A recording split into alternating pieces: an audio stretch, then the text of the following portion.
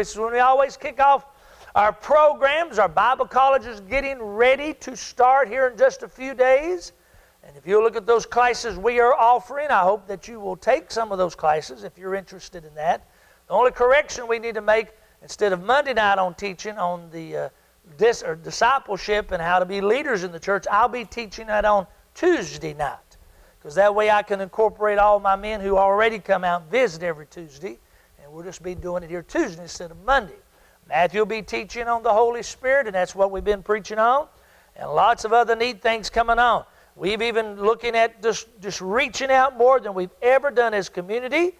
We're getting ready to have our Restore the Power, which is our revival coming up. And of course, this year we're going back to Lakewood Campground, and this year we're going to be eating. So you be planning on bringing lots of side dishes, as you know we haven't done that in the last few years, but this year we're going to go back to feeding our bellies. Well, I tell you, you're an excited crowd today. I'm telling you, I can just feel it. I mean, it's just incredible. The energy's here. We're down a little bit, it looks like, this morning. Not a lot of people are here as normal, but that's okay. Uh, they probably got good excuses and probably all show up at 11 o'clock, and that'll be wonderful. But I hope that you'll be praying for that, that you will be able to reach a soul. What's your purpose in life? If it's not to reach somebody for the kingdom of God and bring them close to the Lord. And then, like always, those who want to be baptized into the ocean, we have the largest baptistry in the world.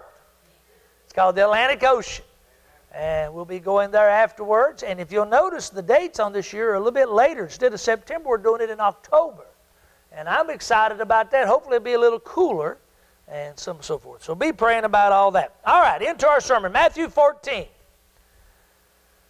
Maybe you thought I was going to ask you to give money today. I don't know what it is, but we'll be all right whatever it is. Usually our crowd's a little more lively at 8:30. Maybe you didn't get your second cup of coffee. Verse 22. Keep Brother Richard in your prayers. You know, I tell you, folks, life is so uncertain. I was talking to Pete last night, and I said, You know, we all ought to take a warning what's happening to Richard. That could be us any day.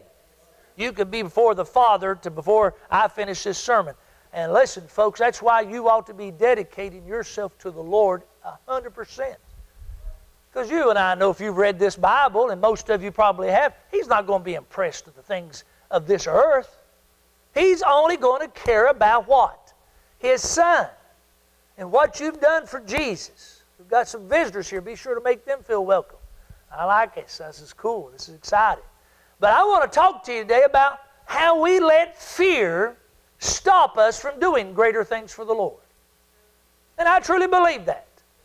You know, I've been preaching 39 years altogether. And believe it or not, I used to be a person that was fearful. You'd say, Oh, no, not you, Preacher Danny.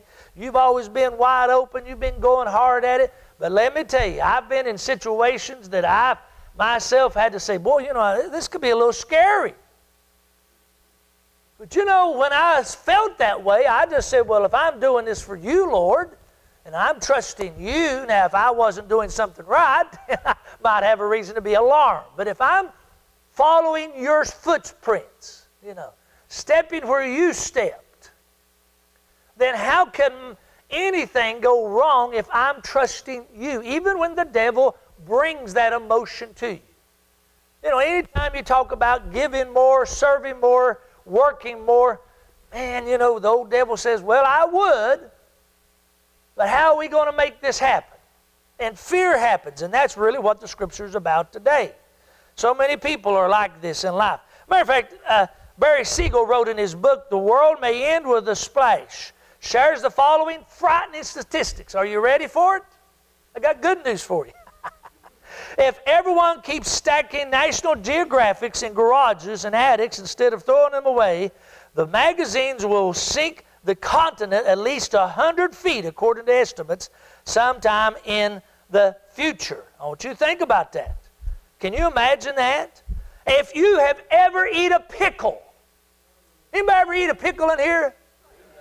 I want you to listen to this. This is true. I'm not making this. if you've ever eat a pickle, I want you to listen to this. then, then you are a person in danger of having cancer. You are a person in danger of having many uh, uh, bad problems. It has now been known that pickle eating causes communism, airline tragedies, auto traffic accidents, and crime waves. How did they know that? Because they fed masses almost 20 pounds of pickle in one month. And all these things they said apparently happened to them because people who eat pickles had auto accidents. People who eat pickle have car. I mean, you say, well, that's stupid, preacher. But this is how statistics scare people. They even said recently, for you who are on vacation here, God bless you for coming to the beach and God bless you for coming to church. But they have found out that if all the sand that sticks to your feet, that, that if you keep bringing it out of the ocean's floor out there and off of the off of the, the shoreline, that the ocean and the floor line will sink over three feet if you keep taking our sand from us. So what you ought to do is when you get off that beach, you ought to take your shoes and flap them real hard so we can get all that sand back on there. And I could read a thousand statistics just like that. What if you did this? You know what I mean? Have you ever noticed how science will come out and say, this is bad for you? Ten years later, this is good for you. you know, you said, wait a minute, you said eggs was bad. Now you're saying eggs are good. You know, it's almost insane. You don't know what to eat. I hear these people sit there and say, you know, we're going to have to be more, be careful what we eat and do all that, folks. Guess what? They die too. I may, they may look better in that casket, but they die.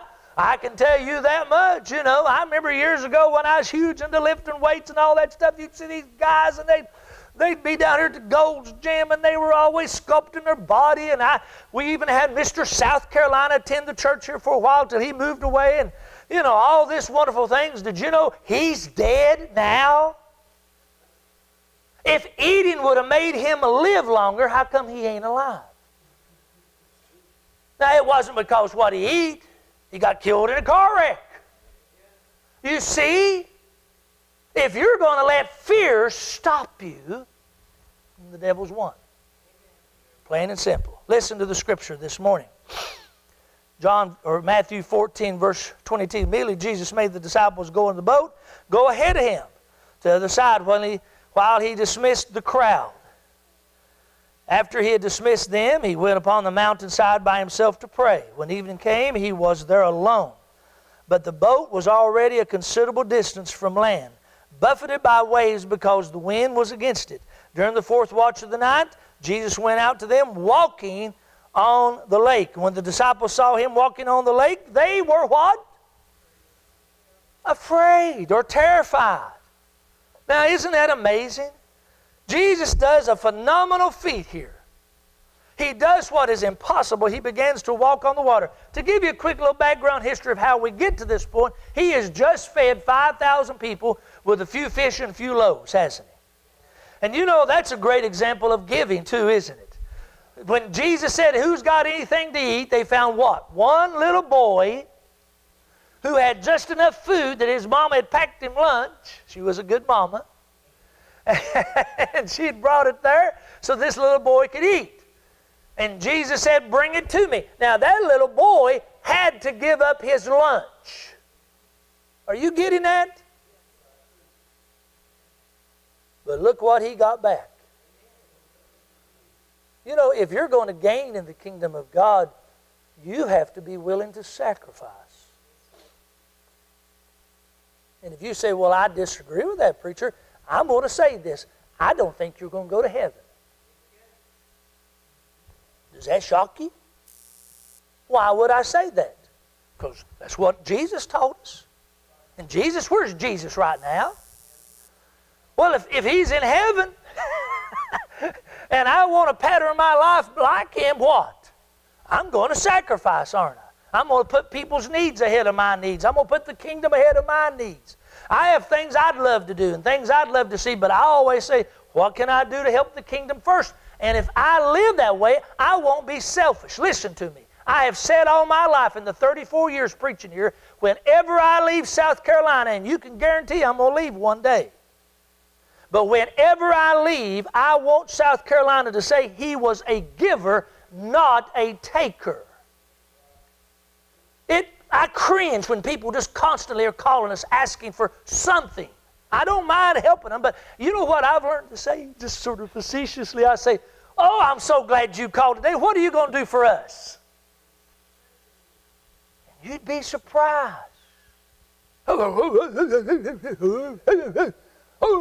Well, wait a minute. We've helped you and helped you and helped you. I know you want to do something for the Lord. You can come over here and clean the carpet. You can come over here and take the trash out. Something you can do.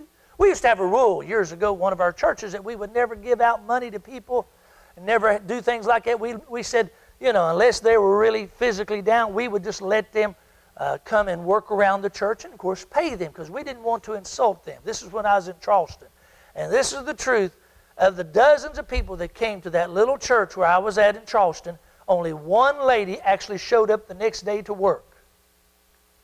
She walked three miles to get there. And I was so impressed about her, her willing to do something that I gave her a $100 bill right there on the spot. And she said, Well, I've come to work. I said, You don't have to. I said, Really, it was just a test. And she said, I've come to do something for my Lord. And she worked day after day. Jesus expected to give, and he wants us to give. And this little boy shared, and look what happened. Jesus blessed it, and did the little boy go home hungry that night? So are, are we going to be people fearful saying, well, you know, if I have to give a little bit more, do a little bit more, I'm going to do without? You never do without, folks. That's the devil telling you that. That's the devil telling you that.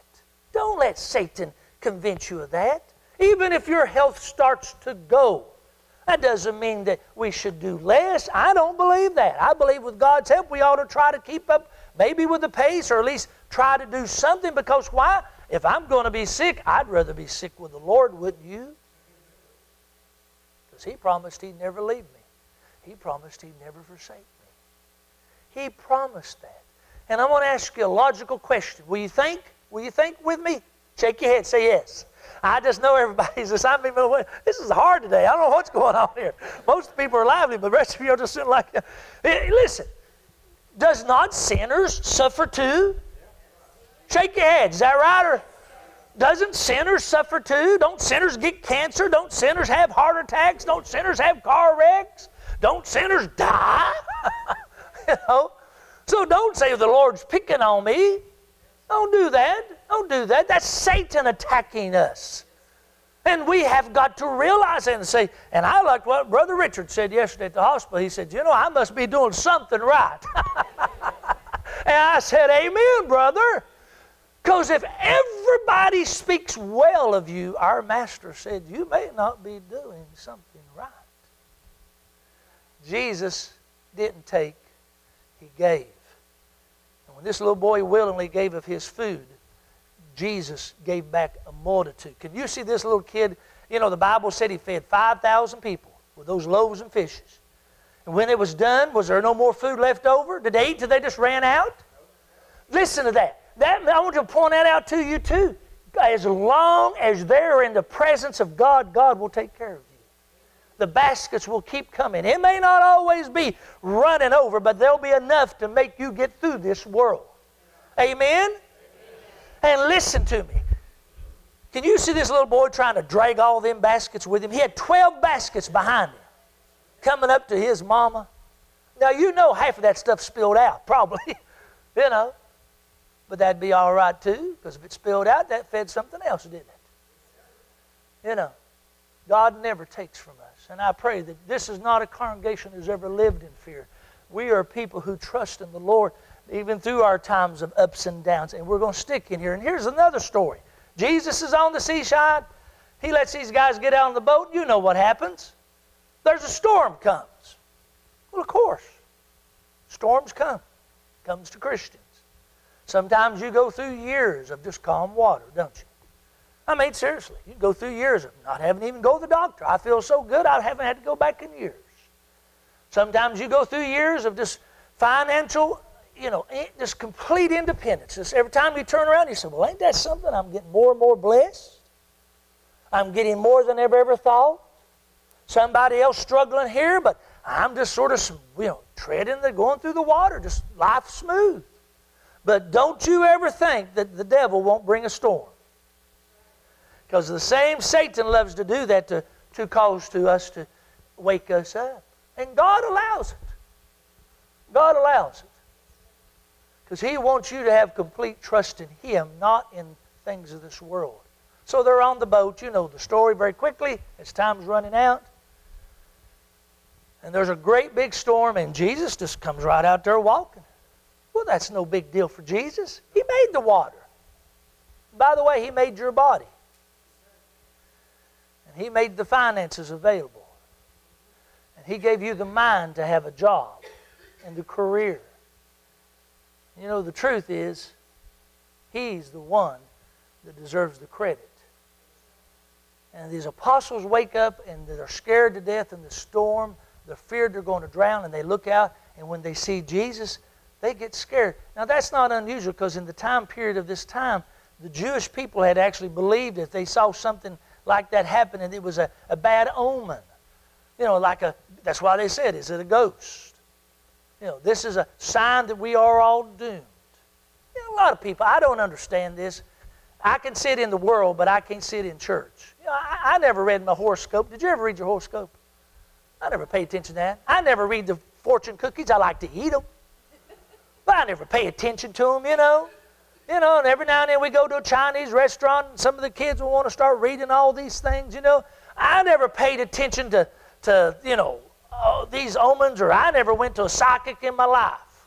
If you, I always say, I always said, if you want to really have fun out of a psychic, go to them and say, tell me my name. you know. You know. I just, I don't fool with that stuff. Why? Because I know that's foolish. I don't base my life and everyday existence on what a human says. And I don't pretend or, or don't even pay attention to the foolish things that, that just seems like is captivating people. I go to eat. I don't sit there and worry about somebody going to come in and shoot me. I understand that can happen. If you let fear get a hold of you, you'll never go out to eat again. You'll never go see a movie again. You'll never go to church again. Because somebody may come in here and kill you. You see what I'm saying? We cannot let the things of this world captivate us for just that moment. Listen, they just saw the moment. They saw the water. They saw their boat about to sink. And now they think they see a ghost. And they cry out. And of course, Jesus says, Don't worry, it's me. And Peter does what we know is a phenomenal thing. He is so excited, he's so caught up in the moment. He said, said, Lord, can I come out there with you? And we can always criticize poor old Peter. He, he made his mistakes. I make my mistakes. Sometimes people criticize me, believe it or not. I make my mistakes too, you know. And if you're going to go again on your faith and your walk with the Lord, and if you think you're never going to mess up, well, then I'm here to disappoint you, but say you will. But we serve a God of grace, like the song we just sung. We're sinners, but we are saved by God's grace. Grace is spelled what? G R A C E. And that stands for God's riches at Christ's expense. That's what grace is. You're going to make mistakes at times. But that don't, don't let that stop you from keep trying to do something for the Lord. Peter made a lot of mistakes, but you have to give the old boy some credit. He got out of the boat, didn't he? And he left the others sitting in the boat. so many people are afraid to get out of the boat. So many people are afraid to make the challenge. Or they give what they have. Well, uh, sure. You know, you've heard that little story that Jerry Clower tells sitting on the bench with Marcel Ledbetter when they were five years old, and Jerry says to Marcel, Do you love me? They were first cousins. You all know who Jerry Clower is, don't you? Uh, times have changed. And Marcel said, Why, of course I love you, Jerry. You're my cousin. And Jerry looked at him so innocently, as a five year old boy could say to another five year old boy, he said, he said, Marcel, if you had $2 million, would you give me one? And he said, he, Marcel, just threw his old arm around him and hugged him and said, Of course, I'd give you a million dollars. You're my cousin. We're blood. I'd gladly share to you. And Jerry said, I looked at him and said, Well, give me one of your pigs. And said, Marcel said, Now that ain't fair. I got two pigs. What's a tough crowd this morning. I'm telling you. Tough crowd.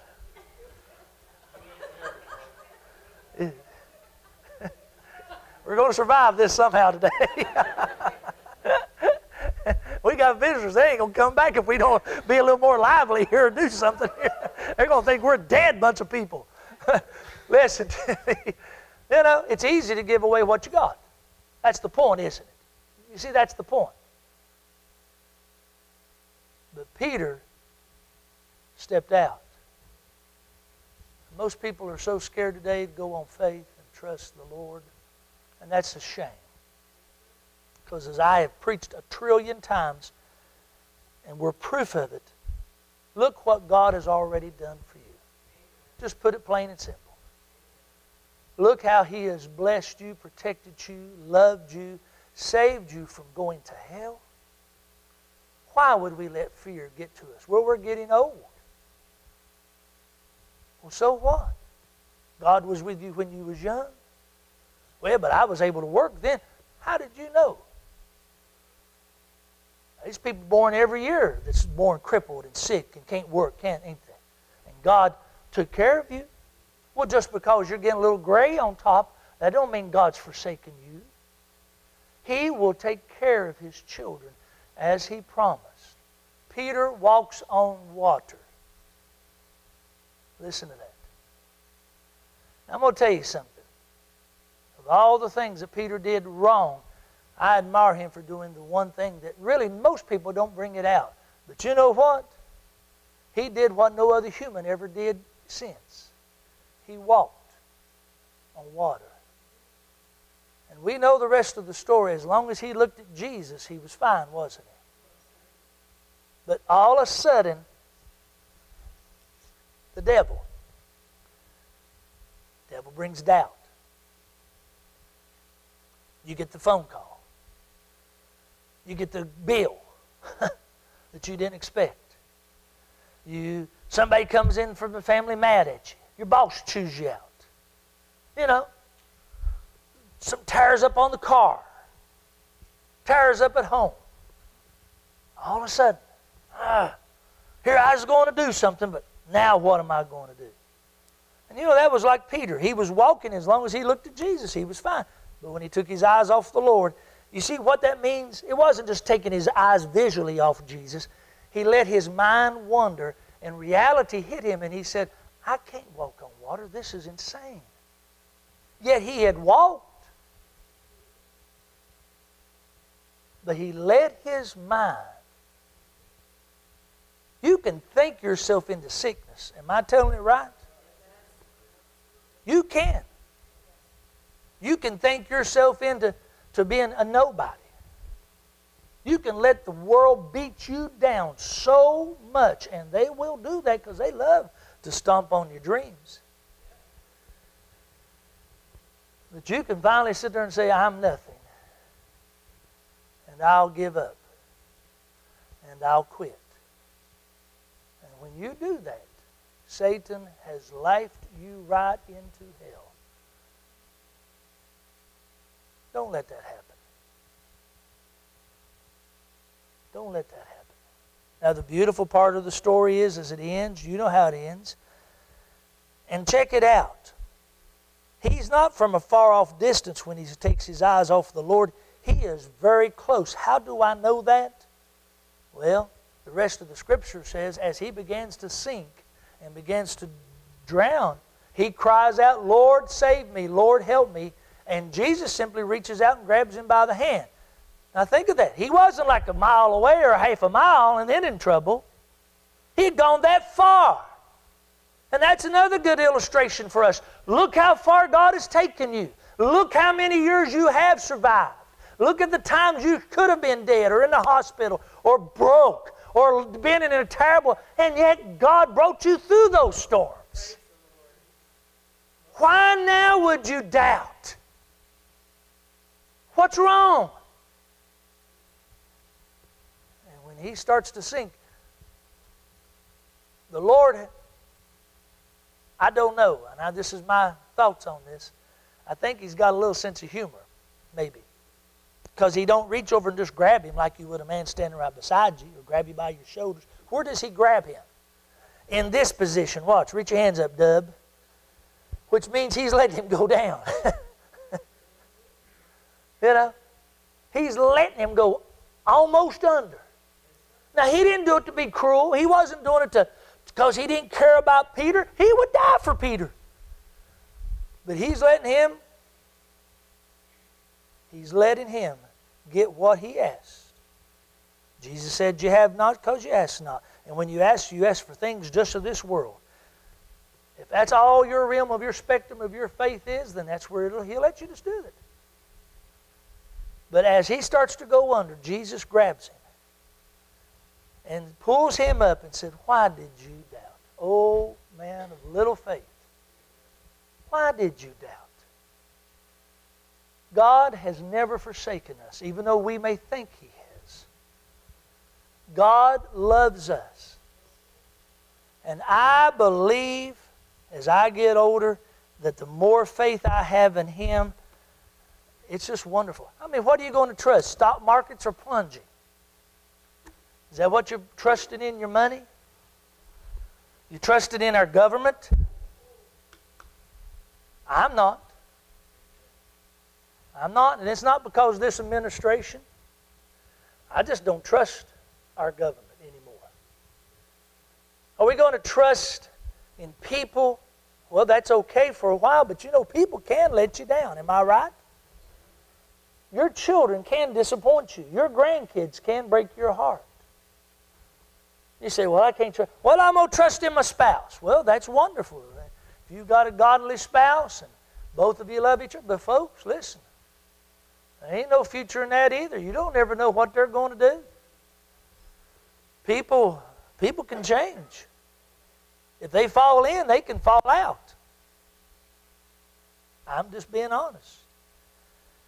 Well, I'll trust in my job. Well, jobs end, companies phase out, people sell out. They'll walk you to the desk and make you take your keys and walk you to the door and let you clean your little drawer out and say thank you for your service. My father said when he left Fort Benning, Georgia, after three years in Korea, fighting for this country, he said nobody was standing there cheering him. Said the man stood and saluted him because my father was lieutenant. He said, Thank you for your service to our country. And then sit back down. He said, I walked outside in, in Fort Benning, Georgia in 1953 or two and sit there and looked around and said, hmm, Ain't nobody here to pick me up. and that's it. Why has that happened to us? Well, that's the nature of human beings. But you know, I serve a God who sticks with you even when nobody likes you and when people disagree with you. And He let His Son die for your soul. And I pray that this morning you don't let fear stop you from doing greater things for the Lord. How will you do these things? I don't know, but God does. But He asks you to step out of the boat, have faith, and keep your eyes on Jesus. Listen as we stand and sing.